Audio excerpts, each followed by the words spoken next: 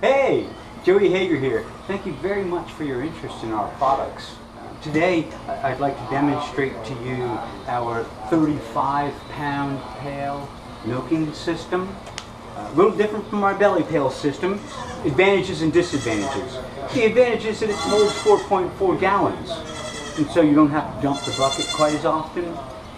The disadvantage is that you've got milk lines sanitized and, and clean and you've got a larger clean. It really just depends on what your needs are and how you feel like you want to run your dairy. So we're going to get started here. The first thing we want to do. We're going to use a sanitizing powder to sanitize our shells and inflations and milk lines. This is the on-off valve, these little levers. There's a disc in the bottom here. The vacuum's closed off right now. Now when you move that lever forward, it pushes that disc out of the way, allows the vacuum to go through the inflation. And to shut it off, you just lift that up and you just bump those and put that disc back in place. Turn our machine on, we're gonna open the stall cock and present the vacuum in the pail.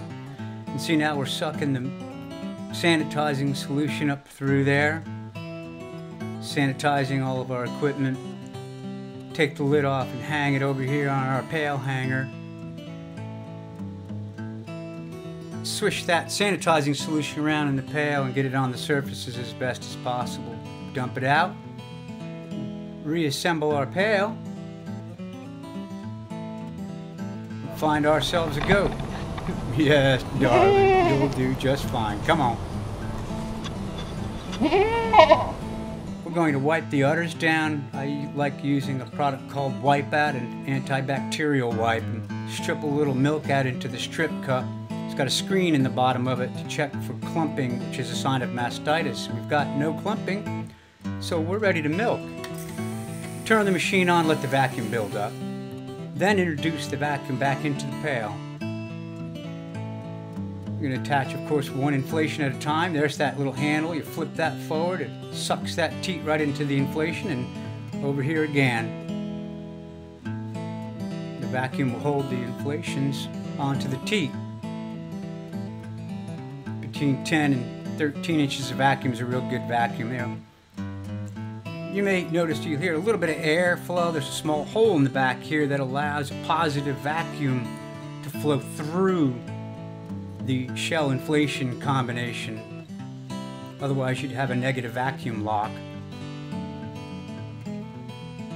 See this milk flowing through the lines here. So we know when the milk stops, we know when to, we know when to take the inflation off. Massage the udder after you've taken it off and you can strip out with the inflation. We want to get as much milk as possible being a small dairy. Strain your milk and chill it as quickly as possible to keep bacteria counts low. Now we're going to suck the hot water up through here to get any residual milk that's left in the shell inflation. Now I'm going to use bleach to clean, it's a cleaning solution, an etching soap to clean all of the shells and inflations and milk lines. Swish it around, pre-wash for the pail.